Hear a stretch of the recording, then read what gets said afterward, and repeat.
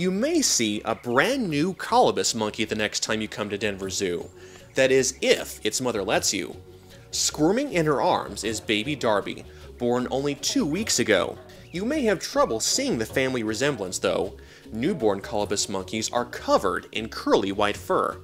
In stark contrast, adults are nearly all black, with white face borders, white wavy veiling flanks on their backs, and long white bushy tails. Right now, Darby's mother, Sadie, is fiercely protective of her new baby, and doesn't really like it when her exhibit friends want to play with Darby.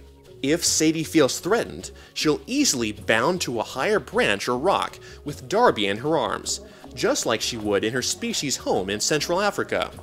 Slowly, though, she'll let her friends get closer to say hello to Darby, and maybe monkey around. And before you know it, with a healthy diet of leaves and twigs and some proper sleep, Darby will grow to look just like mom.